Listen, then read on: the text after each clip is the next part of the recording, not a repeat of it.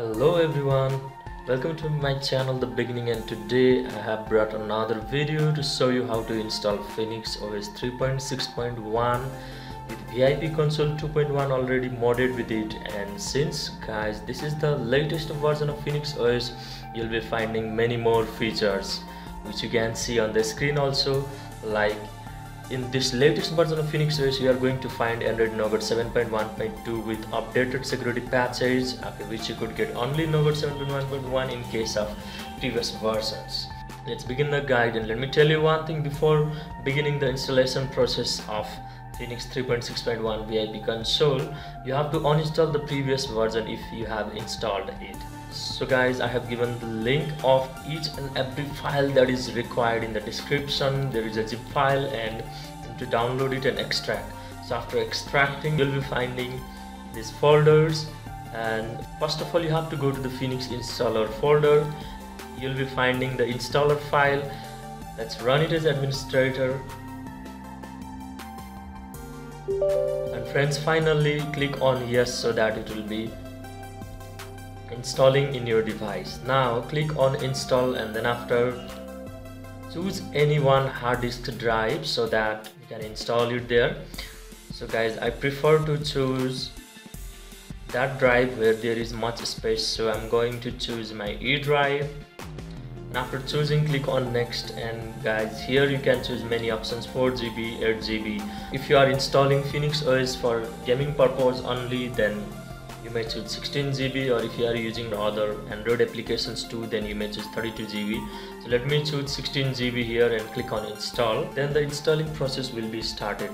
So guys please sit back and relax for the installation process till it installs.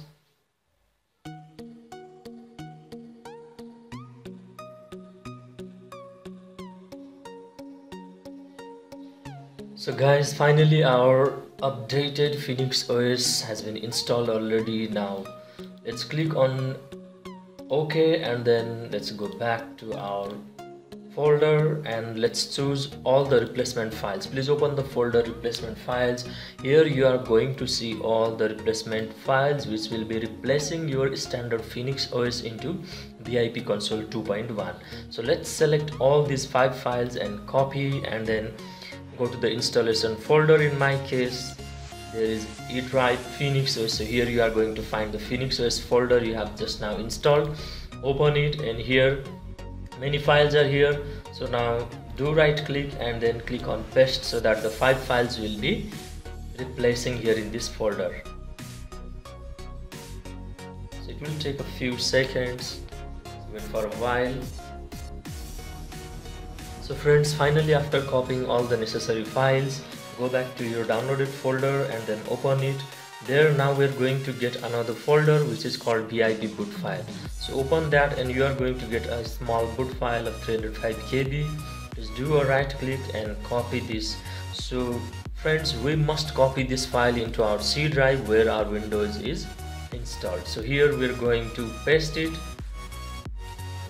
I had already pasted it here so I have this file. So after copying the VIP boot file here in C drive let's go back and then let's see here. Now go to the boot manager tool. Here you are going to find BOOTICE x64 version of BOOTICE application Let's open it as an administrator. And then guys go to the tab BCD here you can find at the top. Go to the tab BCD and click on easy mode. And here we have Windows and Phoenix OS already. So let's go to the Phoenix OS and the disk must be chosen as hard disk and partition must be C drive. Then whenever we boot into Phoenix OS then it directly goes to VIP console. So go to the boot file option. Here you will see Phoenix LDR so we have to replace the text with VIP boot because in our C drive we had just pasted VIP boot file. So now after typing VIP boot, click on save current system and then click on OK. So finally we have done everything. Now we can see here our two operating systems. Let's close it. And guys, everything is done. Now it is the time to restart our computer so go to power and click on restart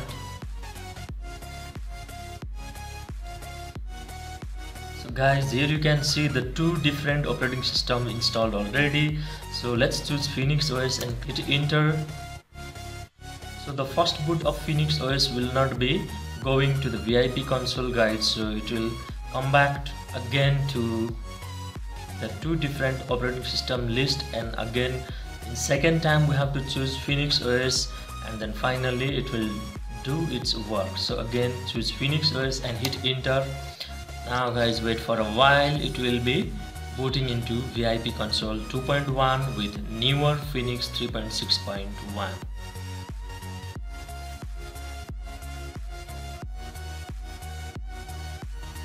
so guys you have already seen the message system initializing. Please wait. So it will take time for few minutes so guys. Let's wait for a while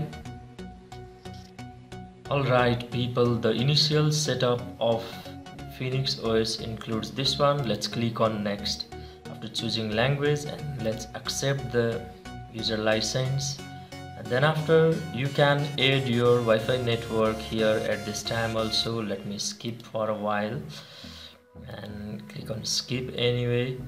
So let's finish the setup so friends here we have VIP console 2.1 on Phoenix 3.6.1 the latest version of Phoenix OS so friends let's check the specification of our newly installed Phoenix OS VIP console 2.1 let's go to start menu and then go to settings and then let's go to about tablet. Friends here you can see Phoenix OS VIP console 2.1 is installed with Android Nougat updated version that is 7.1.2 and we have security patch also updated to 2017 we could get only 2016 security patch but here we will have 2017 security patch with kernel version 4.14.15 and then Mesa 17.1 and guys the main benefit of this VIP console is Magisk Manager is already pre-installed in our system so that we don't have to worry about installing Magisk Manager manually. So let's go here and find out Magisk Manager. Here we can see it. So here we have Magisk Manager and it says requires additional setup and click on yes. So as soon as we click on yes then it will execute the script and one reboot is required guys so let's click on yes.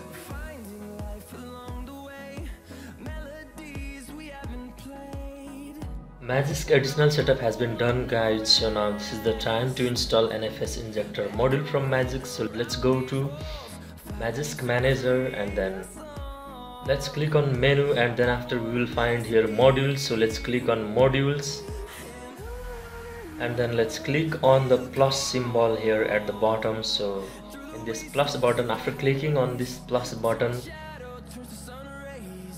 let's do allow and let's go to file manager. And as soon as we go to file manager then let's go to the location where we have NFS injector Z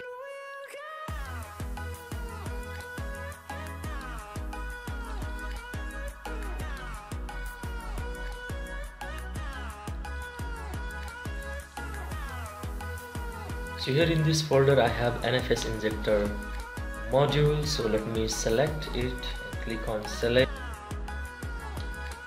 So after clicking on select NFS injector has been flashed already so guys now once we need to click on reboot and after rebooting NFS injector modules will be already installed in our system so friends now last step left for that. Let's go to fx file explorer and no worries we have already installed fx file explorer along with the installation of vip console. Let's click on it and then let's accept it. So let's do some allow and then let's go back here. And we have got this screen. Let's go to system root and then click on I understand there is this is for the first time we have to click on there and let's click on OK. Then after we have to give super user permission. And then after let's click on data folder. And as soon as we go to data folder here we must find the folder NFS so here it goes. Here we have NFS and here we need to change some text here in three files. That is one is governor.txt so guys click on govern governor.txt here. If you find any other word than performance then change it into performance and let's go back. And again let's click on mode.txt let's change the value from 3 into 1 and after typing 1 let's click on option and then save. And again let's go back and let's find scheduler.txt and let's click on edit button. And then here you must write cfq after writing cfq let's save this file also.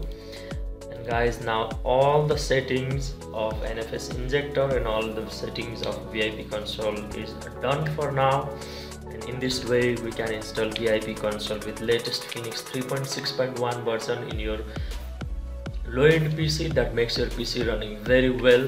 And you can play many many high-end games also along with different kinds of applications also you can use concurrently. So guys thank you for watching my video. If you find my video useful then please do like share and subscribe my channel for more upcoming useful videos and more latest videos for you. So all of you people stay safe and thanks for watching. Take care